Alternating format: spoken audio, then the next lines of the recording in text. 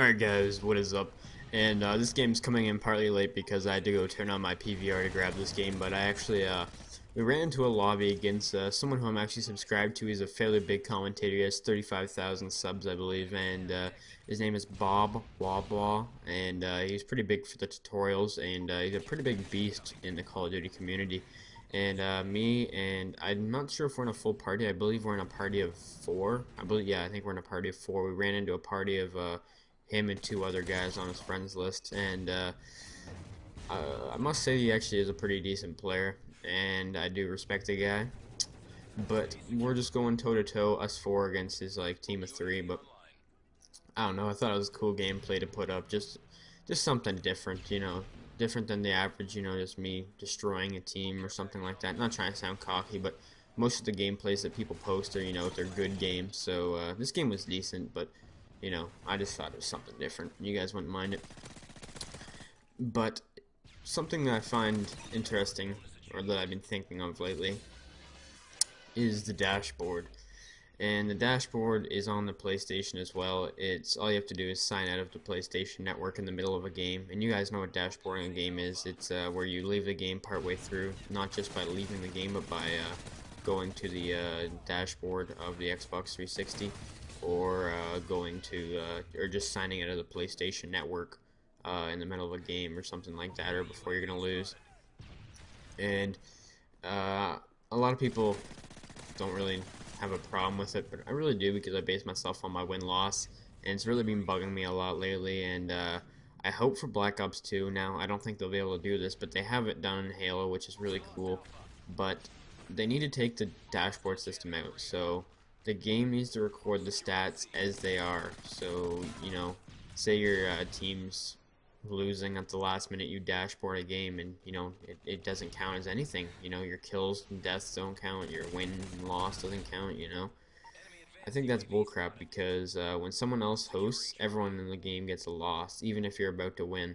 So only the host doesn't record it for, for like anything, which I think is some pretty uh, retired stuff because I was in a game the other day, I believe it was on Underground, and uh, I went about 30, I think I went like 30 kills and like 41 deaths. Probably the worst game I've actually ever had. Well, not really the worst. I, I you know, I was playing the objective like crazy. We're going against this party of six, and we were in a party of six, and man, it was a really close game. I was running my support class, my tryhard and insert class, and you know, it was just complete, uh, complete beastifying between both teams, and at the last second at 197 in the domination game, uh, the host dashboard, and you know it gave me a loss for that, and uh, it's kind of bullcrap. And you guys can see right here, my friend Dempsey, it's Dempsey, who by the way is a beast. He drops a MOAB on Boblawblaw, and uh, on his squad, which is kind of impressive. I'm not like trying to take a shot at Bob or anything like that. He's a pretty good player, clearly. But that's why I'm saying uh, you guys can see he left the game, didn't dashboard, he just left the game normally. And that's why I have respect for someone like that who just leaves the game, not dashboarding. Now, uh, that's that's what I want to kind of cover for this commentary. I, I, don't know. I just think it's kind of bullcrap. What do you guys think about it? Uh, you always see people dashboarding when you're doing good. It's always, you know, it can never be when you're doing bad. It's always when you're like doing good. It's because the other team gets fed up with you and they dashboard, which is kind of uh, kind of silly if you ask me. But uh, I like to give a shout out to uh, Dempsey. I don't know if he even watches my videos, but uh, he actually uh, we ran into two different YouTubers or three different YouTubers in three different days or in two different days. Sorry. Uh, yesterday we ran into Bob and uh, we actually dropped a MOAB on him. And at the end of the game, I actually sent him a message just saying "good game" and I respect you and you know I'm a sub. And that's all I said to him.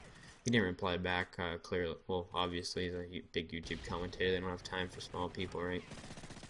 But, uh, anyways, I sent him a message in the game saying good game. And the day before that, we actually ran into uh, God of Death 89, another YouTube commentator with, I believe, at least 20,000 subs. And we made, we made him rage quick quickly. We dropped a MOAB on him, too, which is kind of funny that we're actually dropping MOABs on these YouTubers. And, uh, I don't know. I, I, have a feeling that they've never been MOAB before. I'm not saying, like, I'm not bragging or acting cocky. Because I actually didn't get the MOAB in this game. I dropped the MOAB on God of Death, though. Uh, I'm, I'm not saying anything. I'm not taking anything away from the guys. They're really good players. But, you know, sometimes you get lucky and you get on a little bit of a streak. That's all I'm saying here.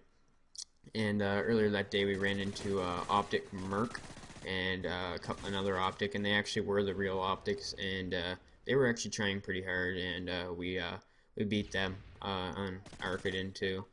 But I just thought it was kind of cool that we actually faced three different YouTubers. What's the odds that I got into a lobby with three different YouTubers? I don't know. I thought it was kind of cool. But uh, anyways, guys, here's just proof it's the real guy. Uh, hopefully you guys enjoyed the video. I will have the uh, next live com session up for Black Ops coming up soon, next day or two. Uh, but anyways, hope you guys enjoy this late night commentary, and uh, have a nice night, guys. Peace.